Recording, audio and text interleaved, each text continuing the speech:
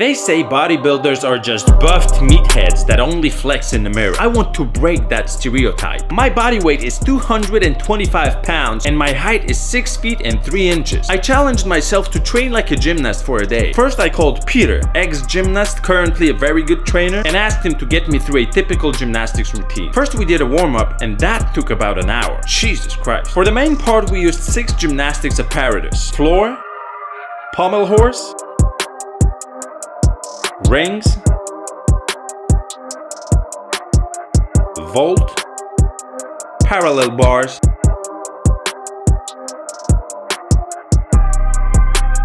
The bar was one of the most mentally challenging things I've ever tried. I wanted to learn how to do giants and initially it wasn't looking good, but I kept on going so in the end I got the job done.